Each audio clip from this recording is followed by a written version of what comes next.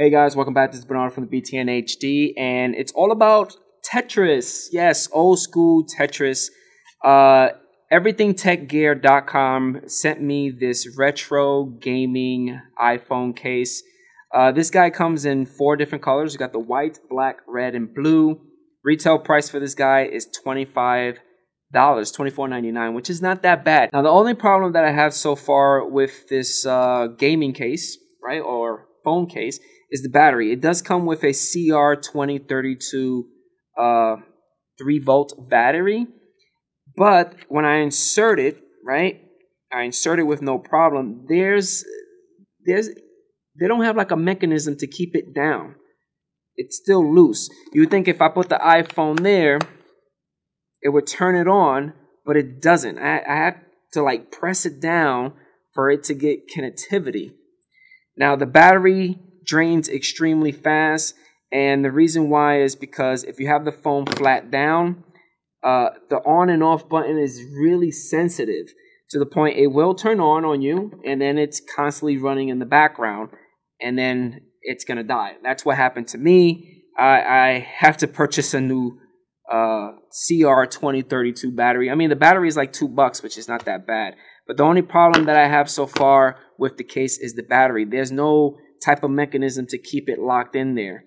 Uh, I try to push it all the way in, right? If I push the battery all in, it keeps it inside, but it's not really touching the metal base in, inside the case to give it uh, connectivity. And it doesn't even stay. It's only problem that I'm having. And as you can see, uh, there's a little rip right here is because I put force.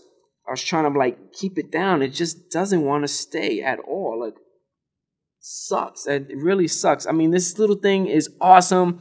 Uh, I had I played maybe two or three, five, maybe ten levels with Tetris. It's pretty cool for an individual that grew up with Game Boy, uh, it brought a lot of uh, good, awesome memories of my childhood.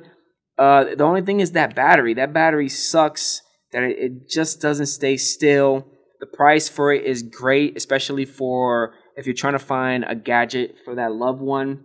Uh, I would definitely recommend this guy for anybody. Overall, guys, hopefully you guys enjoyed my uh, review on the retro gaming iPhone case. Uh, you could get it with the iPhone 6 up to the iPhone 10. Again, four different colors. The price is not that bad. The only problem is is the battery. It just doesn't stay there. Uh, that's a that's a huge letdown for me. But once you press it down and it has the connectivity around the metal stuff to give it power, you're able to turn it on. Another downside about this is if you have it facing down, most likely the on button is going to be pressed and it's on. You don't know it. You're wasting battery. That's what happened to me. This guy ran out real fast for me. I'm definitely going to replace the batteries because I like playing it.